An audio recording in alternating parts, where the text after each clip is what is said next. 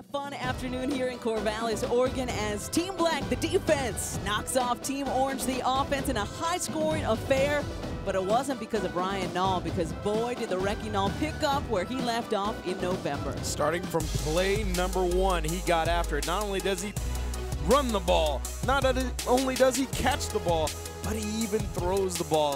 First play of the entire scrimmage has a great throw to Hunter Jarman, and here you see the great vision and explosion for the big touchdown.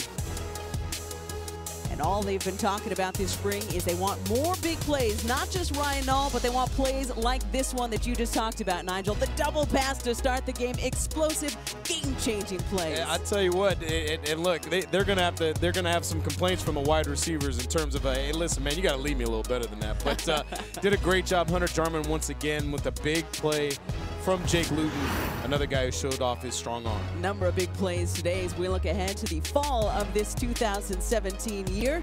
It all starts August 26th at Colorado State. It's a good-looking schedule with a couple of byes before Washington and before Stanford, so it's going to be a whole lot of fun in the fall.